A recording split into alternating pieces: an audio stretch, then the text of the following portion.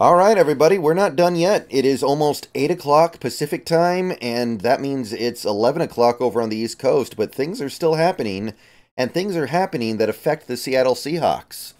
And uh, just a couple of minutes ago, we have this from Jordan Schultz on X. Damien Lewis is the latest domino to fall. He is another player the Seahawks have lost, this one to the Carolina Panthers. So Seattle Seahawks officially in the market for a new starting guard. Damien Lewis started at left guard for the last three years, and he started at right guard for one year before that. Now he will be starting at neither guard spot for the Seahawks because he's going to the Carolina Panthers four years, 53 million. So a little more than 13 million a year. My understanding is about half of the 53 million is guaranteed. And um, a couple different angles here. Couple couple of different ways to chop this one up. First of all, I don't think very many people are going to be unhappy about this one. I don't think there are many Seahawks fans out there that view Damien Lewis as a player worth more than 13 million a year on a long-term contract. So, I'm not expecting a lot of people to be unhappy here. Um, if this was the price, that's not a price that I think this team should pay and I don't think very many people think that this is a price that this team should pay. He is capable of being a really good player in this league. He has had good moments before, he has had good seasons before. But at the end of the day, he's a dubious scheme fit.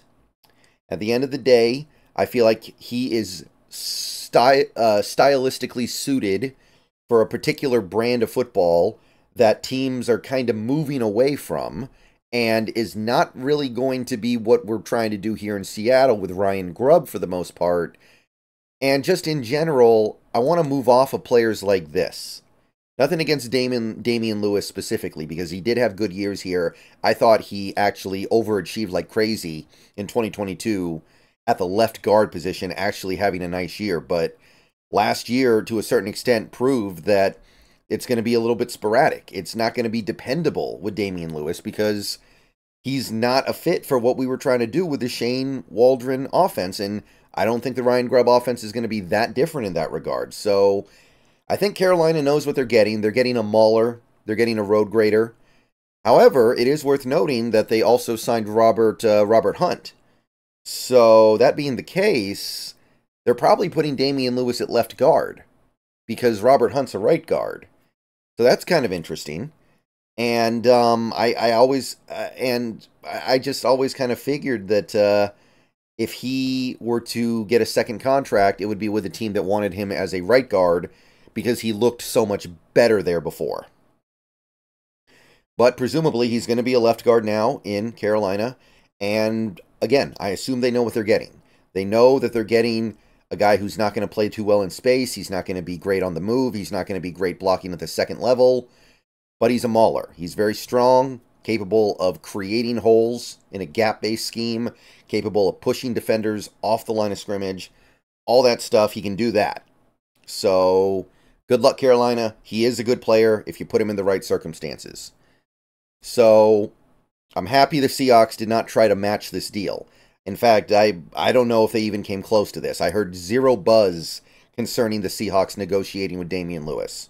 I, I didn't hear anything about us wanting to bring him back. So it's very possible that we weren't even in on anything like this. Now, Damien Lewis did not have a very good year last year.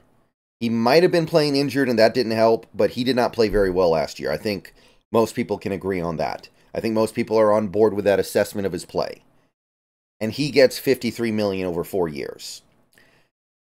So beyond just the Damien Lewis impact, there's also a secondary um, a, a, secondary thing to look at when you're evaluating this contract, and you combine it with what we saw guys like Michael Onwenu get and guys like um, Robert Hunt get from this same Carolina team. Actually, um, the interior offensive line market is crazy this year, and this is probably indicative of what these guys are just going to get. So, not only is this price tag out of pocket for Damien Lewis based on the way he's played the last four years, he's had two good seasons, two subpar seasons, and that's it. This is probably indicative of what we, what we can expect from the position. So, if you are a slightly above average to half decent guard, you're going to get paid like this. Um, if you are a good guard or a really good guard, you're going to get paid like crazy. So the Seattle Seahawks, who are going through a little bit of a transitionary period, I think we can now officially say should not be looking to free agency to solve their interior offensive line issues. Maybe they can get a center because it seems like the centers are going for reasonable prices. Uh, Andre James went a little bit earlier for what I thought was a fair price. But in terms of getting like a guard, those guys are going for way more than anticipated and they're they're going to a place that I can't follow. It's too much money.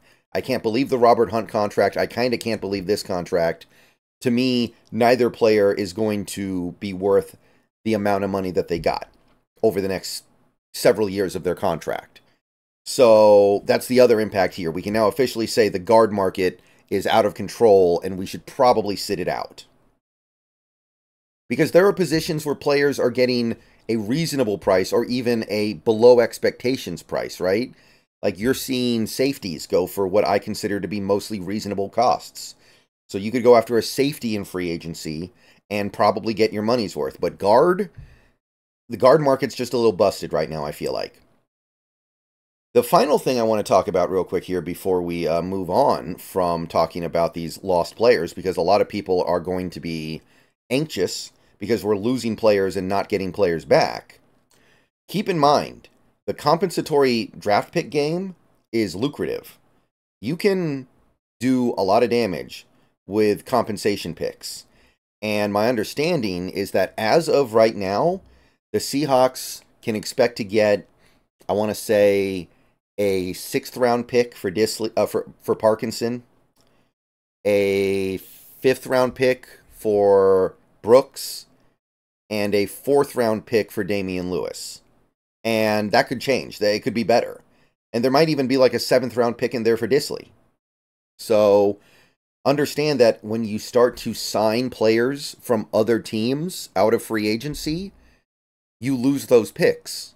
So what is happening right now with all these valuable players being signed away from the Seahawks, Lewis, Brooks, and Parkinson namely, you are getting future draft picks back. It's not great, but it's going to help. Like even that sixth round pick, that is four years of cheap labor on a potentially valuable, good, or really good player. You never know. So understand that if you sign an outside free agent to replace every free agent you lose, you're losing the compensatory game and you're spending top dollar, especially right now. Free agency literally just started. So consider that angle. We just probably got a fourth round pick out of this Damien Lewis contract. we spent a third round pick to bring him here in the first place. So we get Damien Lewis for a third, get four up and down, but overall decent years out of him. And then we lose him. And then the following year, we get a fourth round pick. That's pretty good business. That works especially when I don't even really want the player because I don't think he's a fit. And he's also getting overpaid like crazy. So buckle up, trust the process, understand we have new coaches here that probably feel no attachment to these players whatsoever, and probably in some cases flat out don't want them. All right, see you guys later. Go Hawks. Damien Lewis signs with the Panthers, four years, fifty-three million. Sound off below, and um, might be a one more video late tonight when we know for a fact things are done for the day. But uh, yeah, things are still churning out there.